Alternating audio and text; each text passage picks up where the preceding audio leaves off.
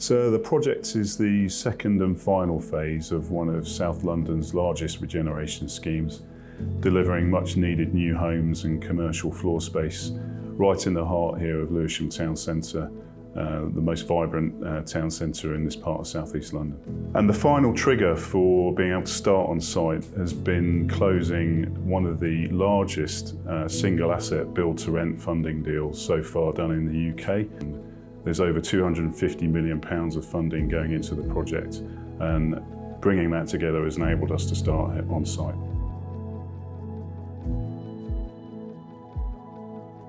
So the genesis of the scheme goes right back to the Urban Task Force in the early 2000s where the then Mayor of London was working with the boroughs and looking around London at spaces that were underutilised. And the idea was put forward to deal with some of the problems here in Lewisham, where you had some railway stations located just nearby where we're sitting, and a town centre a few hundred yards away. But in the middle of all that, a giant roundabout and the two things weren't connected up. So a really innovative idea was put forward to change the highway system uh, move two rivers to also uh, bring them from uh, being covered in concrete to into the heart of the town centre.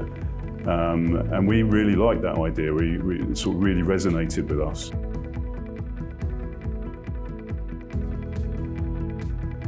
So we've had to overcome a huge amount of challenges over recent years. So the scheme's been incredibly complex, so it has taken time to bring it forward.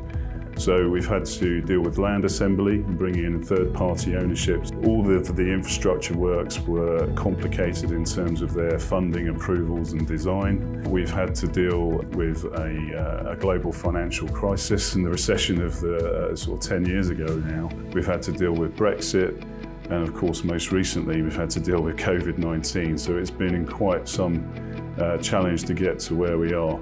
Um, but uh, over the period, and since we started in 2014, we've been able to rebuild the highway system here in Lewisham. Um, we've released the land for development of the scheme, uh, and so far we've delivered 362 new homes.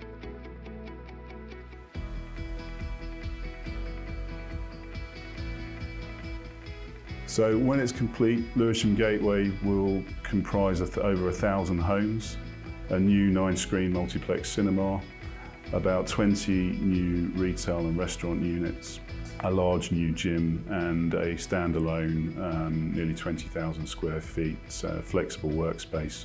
So that's what the scheme will deliver.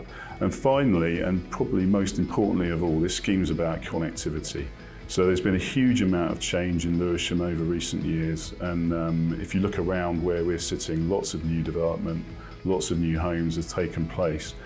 But where we're sitting is right in the centre of all of that.